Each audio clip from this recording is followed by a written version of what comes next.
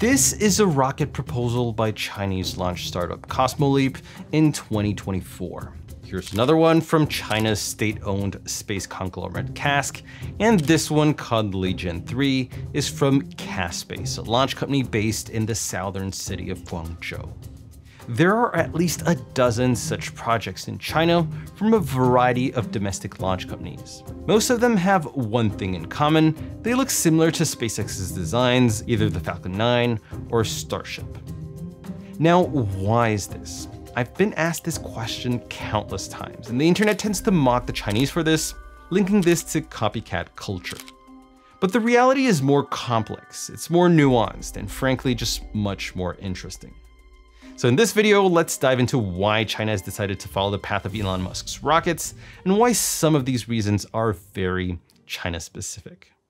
We are in 2015. China has just started opening up its space sector to private initiatives.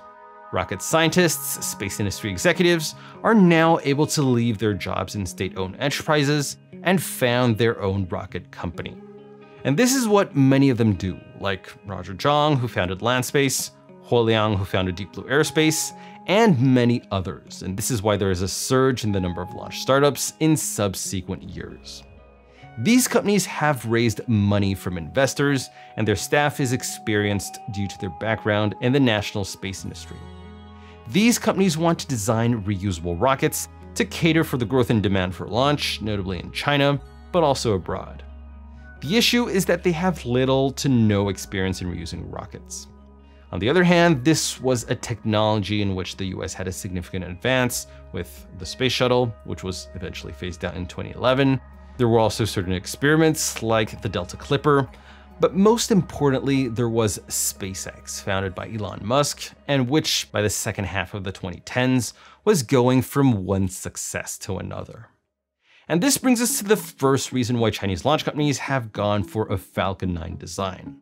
It's a proven design. They know it works. And when you're a startup with limited funding and you're competing against a dozen other domestic challengers in a cutthroat environment, there is a tendency to go for what works first and to change the design later.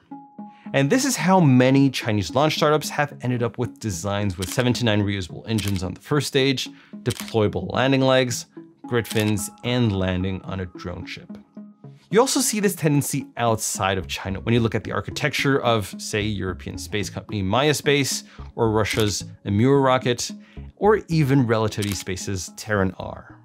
But there's another reason why this emulation of SpaceX is especially present in China. China is an isolated market for a variety of geopolitical reasons that I've discussed in previous videos, and this makes it nearly impossible for Western satellites to launch on Chinese rockets, just as it is unlikely for Chinese payloads to launch on Western launch vehicles. And this market distortion has one major consequence.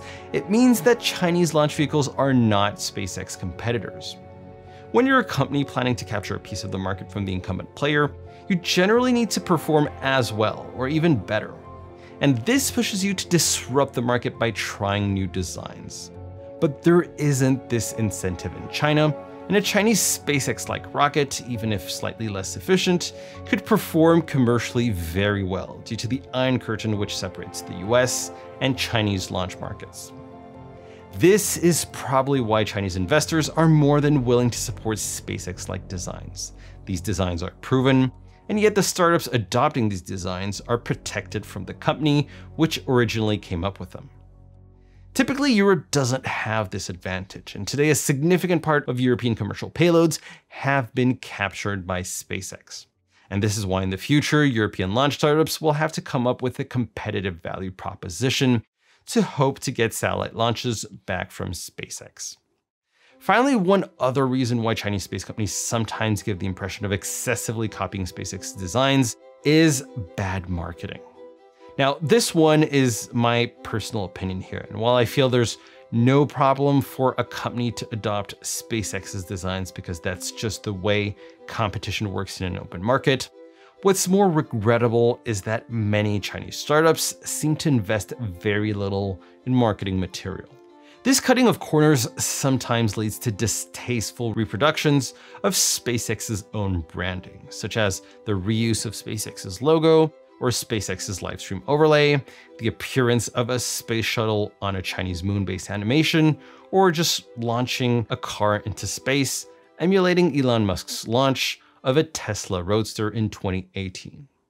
That being said, Chinese space companies have come a long way.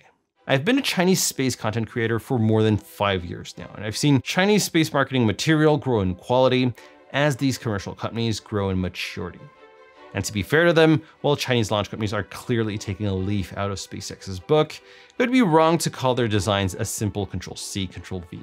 When you start getting into the nitty gritty details, you notice that there are differences in terms of the payload capacity, the engine cycles and propellants aren't always the same.